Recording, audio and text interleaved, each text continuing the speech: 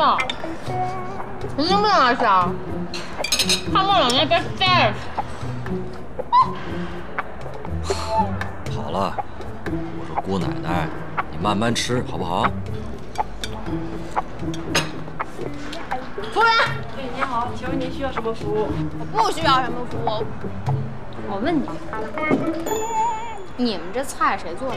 你们厨子都死光了啊？这么贵，还这么难吃？去把你们经理叫来。哎，好，稍等一下。哎，可以了，郑皮，洗过了啊。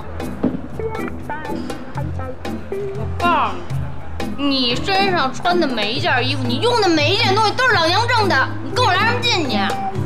别跟我这唧唧歪歪的。是你！过来，我问你，你们家这裙子，哎，看看都烂边了还卖呢，便宜五块钱。这个真没法给您便宜的，为什么呀？这个规定。嘿嘿，哎呀，算了算了，我掏钱把它买了，咱们就走了，好不好？不行，干嘛向着他说话呀？她长得有我漂亮吗？不是，你讲来讲去就五块钱而已啊。不行，老娘就差这五块钱。哎，怎么着？你吃我的，喝我的，我养着你，你还不向着我？笑老公呢？不是，你说这男的怎么找这么这老婆？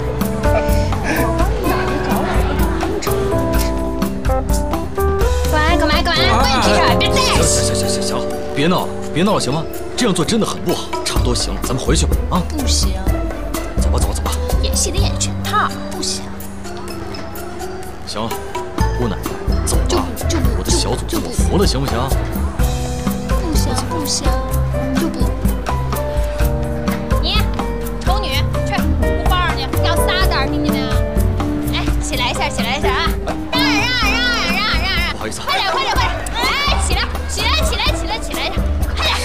对不起对不起，对不起啊！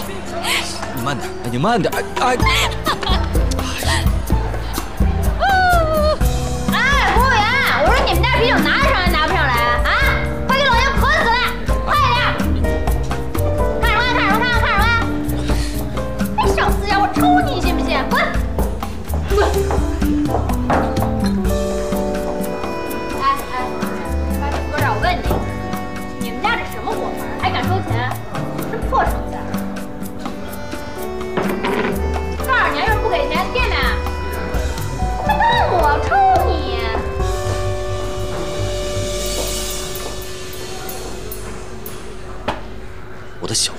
疯了！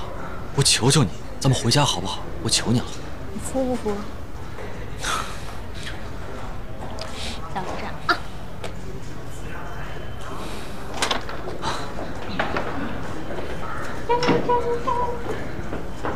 哎对不起啊。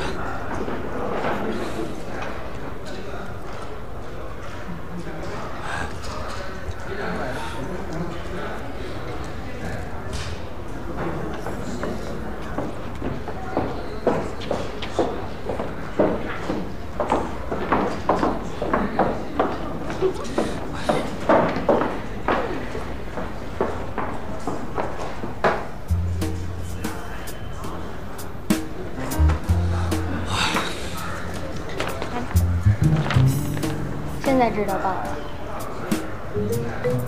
我错了，我错了，行不行？你赢了。所以说呢，你必须承认，人就是趋利避害的东西，没有什么是跨越身份、地位、外表的爱情。有好多我为什么要选差的呢？你看，我喜欢你，喜欢你成功、有社会地位、自信。你喜欢我，喜欢我什么？就喜欢我聪明、漂亮、有品味，对吧？所以说呢，要想让爱情一直保鲜，就让我们努力做到最好就行了。我被你完全说服了，你说的都对。那以后你负责挣钱养家，我负责貌美如花。好，嗯。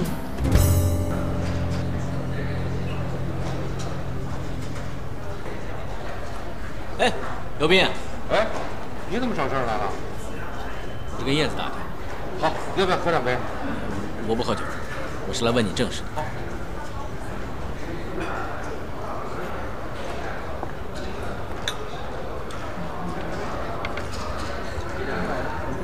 你是不是真的跟青青离婚了？我还以为你们挺恩爱，挺好的，没想到最后还是离婚了。那么青青现在是单身，我是不是可以追求她呀？那你不介意她结过婚离过婚？有什么好介意的？我也结过婚。其实大刘啊，你的条件挺好的，你干嘛老盯着朱青青？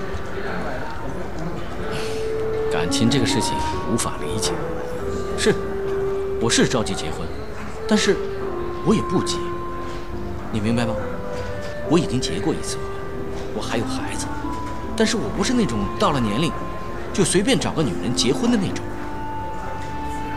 我前半辈子的时间都花在奋斗事业上，人生一世，总要轰轰烈烈的爱一场吧。我都一把年龄，再不找个自己喜欢的女人，我这辈子恐怕我就不会再谈什么恋爱了。那你的儿子能接受吗？我儿子还催着我早点结婚呢。其实啊，他也挺喜欢青青的。哎，你问我那么多问题干嘛呀？你们都已经离婚了呀，青青是有重新选择的权利的。其实我这次来，第一，我就是想确定一下你们是不是真的离婚；第二，我是想劝你，刘斌，青青不适合你，你配不上她。成全我好吗？不是我成全谁，现在关键是周青青开心不开心。我觉得她最近一点都不开心，倒不如跟我们父子俩在一起的时候开心。真的？当然是真的了，那还有假？不过大刘，我祝你幸福，你要对她好一点。说了半天，你怎么不想阻止我吗？为什么突然之间变了？